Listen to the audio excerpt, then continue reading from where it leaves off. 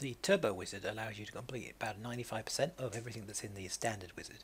And basically, if you already understand the Standard Wizard and have gone through the guide for that, you'll actually know what all these boxes are already. The only real difference is that in the Turbo Wizard, uh, you'll see that we only have two types of uh, URL visible and two types of keywords. We've got the keywords here, primary and secondary, and the URLs, primary and secondary here. Now the additional ones are available. Uh, if you click the button here, you'll get a little which uh, shows you where you can put in the uh, generic keywords, the other keywords, and other URLs. So exactly the same as the main wizard. So I'll just uh, quickly pre-populate this uh, with exactly the same settings that we did uh, in the other main wizard tutorial, and then we'll go through it and explain them one by one. Okay, so I have uh, just quickly gone through that and filled it all in, so you don't have to watch me typing everything. Now, exactly the same as the normal wizard, we have the primary and secondary keyword set. Our primary keyword is the keyword that you want to rank for, the, the main keyword you're after. You can put as many keywords as you want into each of these boxes, and uh, you can only use one box, uh, the primaries if you want. You don't have to use the secondaries, but we recommend a maximum of one to five within this primary box, and uh, preferably only one or two. Over in the secondary, these are long tail, uh, as you can see, all the long tail keywords contain copies of the primary keyword. Now if we scroll down, these are actually generated by Google using the uh, generate from primary keyword button here. So these are all uh, keywords that uh, Google believes are associated with this. Now you can put whatever you want in here again, you don't have to uh, use the generated ones, you can type in your own and uh, they don't have to be uh, as related like this. Down here we've got the URLs. Now the primary URL is the one that you are trying to actually rank. In this case, it's the subpage on training in dogs.com. And the secondary URL, if you're going to use one, uh, the typical example is to uh, use the root domain. So whereas this is the subpage with the training, this is just the dogs.com on its own. So basically what this is doing here, because we set a ratio of 20 to 80, for every four links that are created pointing at the training page, one will be created that points just to the home page. And that gives you a more natural link uh, backlink portfolio. Exactly the same up here. You can see we've set the ratio of 40% uh, to 60%. So uh, that just means that not all your links are going to be about just specifically dog training. You'll throw in a nice mixture of additional keywords as well, and uh, that just gives you a much better a much better portfolio in general, and you're more likely to rank and keep your ranking.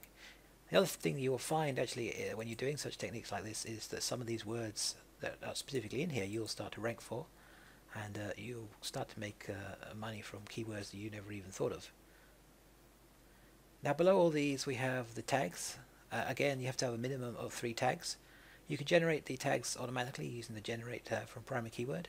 Uh, if those aren't relevant enough for you, if you want some specific tags, uh, you can type in your own. I say you only need to put in three.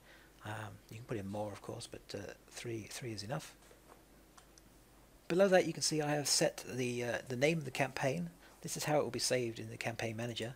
If you don't set a name, it will give a name by default, um, so you don't actually have to set one.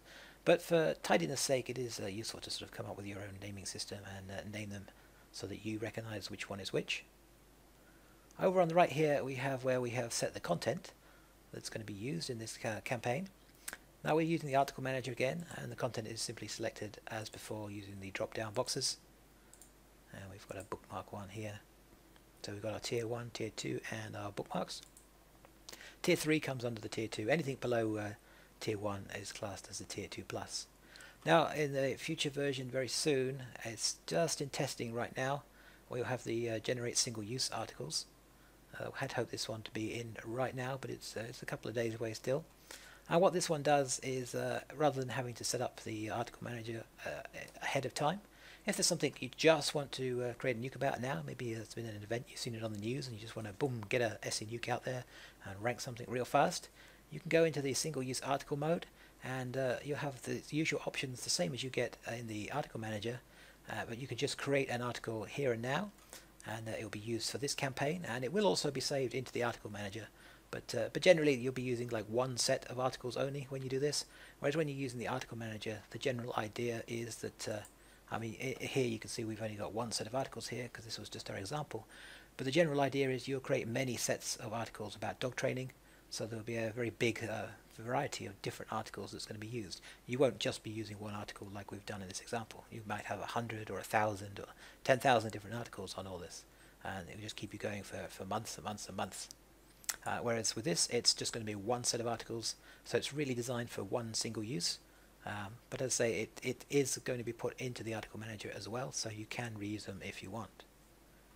Now below all that we have the, uh, the strategy settings section. This is where you set the, uh, uh the, the number of days that this template is going to run, the actual template you're going to choose. Uh, you just click the browse here and uh, find the template you want. You set the number of profiles for that template. Uh, typically one profile is enough for all of the templates that come with SEnuke. Um, you can so go for two on uh, template, templates if you wish. But generally speaking, uh, all the templates we've included are designed for one profile only. The spread submission is not automatically calculated in the uh, Turbo Wizard, uh, mainly because there's no diagram designer here. Uh, so you do have to put this in yourself. Uh, typically speaking, you're talking uh, times of 7 to 11, 12 days. Uh, we can put it in for 7 days this time. This is a fairly small uh, template. You won't have seen this one yet. It's brand new for uh, SE TNG. It's a little link cube, all tier 1. There's uh, no tier 2 to this template, apart from some indexing, but that doesn't really count because it's chained.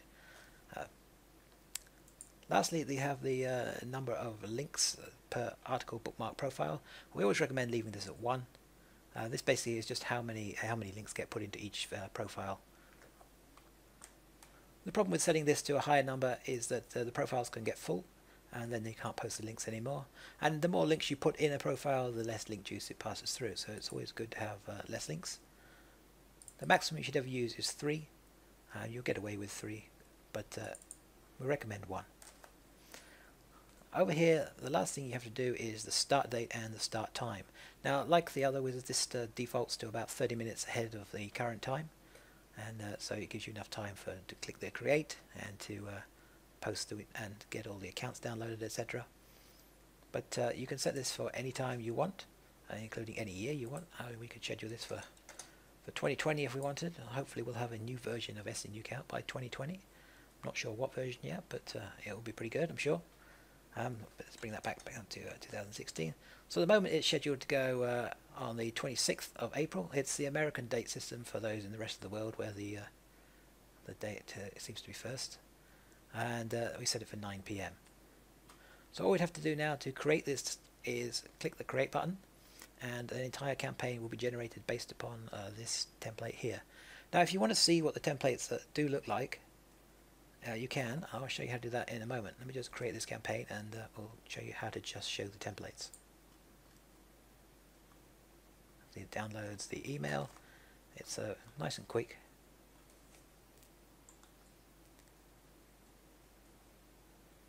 And then it creates everything just the same as the normal wizard does. And there we are, the wizard has exported successfully. Now one thing you do get different here is uh, after you've closed this off, you'll see it stays open. And that's so you can schedule another one if you want. Um, so we could say alright we want another one to go off a couple of days after that and we can just click it and send it off again. Now because we're using the article manager we don't have to bother reloading in more content. It will automatically take it from our content repository and uh, create another valid campaign if you don't want to create any more all you need to do is close it off and uh, you're done so now we've actually created that campaign. Uh, there's a few little tricks we can do. You can see the campaigns here, Dog Training Turbo uh, 160425, that's the 25th of April 2016. And we just click on that, we can see it here. It's scheduled to go off, uh, just smooth the window a little over to the left here. It's scheduled to go off on the 26th of April there, and uh, at 9pm. Now you may have remembered that uh, in the Turbo Wizard we didn't have any loop mode. Uh, that's missing for the Turbo Wizard, but you can still loop this project if you want. You can right click it, and you can go to edit loop mode and you can turn on loop mode for the project. It's exactly the same as the normal wizard. You can set the number of days. I'll set it to infinite if you want and uh, set the number of days delay as well between each run. And you can also create the new accounts each time and use the high authority account method, exactly the same as the normal wizard. This basically uses the uh, the same accounts for the whatever you select within this box here. Uh, so if you want to use the same social networks each time, same article directories, leave those ones ticked and maybe the same bookmark but you want to create new press new wiki and new RSS each route, uh, then just untick those ones and now those will be recreated each time. Or you can leave it so that it uses the same accounts uh, each and every time. Some of the uh, projects you'll see have the word loop in them uh, when they have uh, loop, uh, that's the campaign, sorry, the, the, uh, the campaign templates. Some of the templates you'll see have the word loop actually in the name. And when that's in the name, that basically means it was specifically designed so you can loop it. And with those um, templates, it doesn't actually matter whether you create new ones or uh, use the same one over and over again. There's no, uh, there are no projects within that loop campaign that are going to overflow and cause a problem. So we could start that looping if we wanted to. Another option you've got is you can right click and you can do a duplicate. Duplicate basically makes an exact copy of the campaign. So it'll tell you here that we're going to make a copy. Are you sure? Yes. It's opened up on my second monitor there. You give it a new name. I will just call this copy for this example. You can give it a new date to start. We'll start it on the 30th. We'll keep it at 9.30 and it asks you whether it wants to be a root campaign or a sub-campaign basically. A root campaign means it's all the way here on the left. If you untick this, it would make it a sub-campaign of this dog training one. So instead of appearing on the left here, it would appear slightly to the right within a folder um, underneath this one. In fact, let's just do that here just to show you. We'll untick that so it's not a root campaign anymore. So now we're going to duplicate it. Just click the Save Campaign. It will download some new email because uh, basically it has to do a full account creation again. It is an exact copy of the uh, previous campaign just using a new set of templates. Just saves you having to go through and uh, recreate the whole thing again through the wizard if you know you want to reuse the same thing. And there we have it. Now you see here it's uh, we've now got a little box here and there's copy as we called it copy and uh, you'll see that it's set to start on the 30th of April exactly as we said and it's as I say it's an exact copy of the previous campaign um, obviously it will load in uh, new content because it was set up using the article manager so every time it goes through it will load in different content from the article manager but uh, that's that's another way of uh, reusing campaigns in SEnuke. You can do that for uh, for campaigns that you've uh, created in the normal wizard as well. That's not just for uh, for the Turbo Wizard, um, but I just highlighted it there from the Turbo one because we don't have that loop mode at the end of Turbo.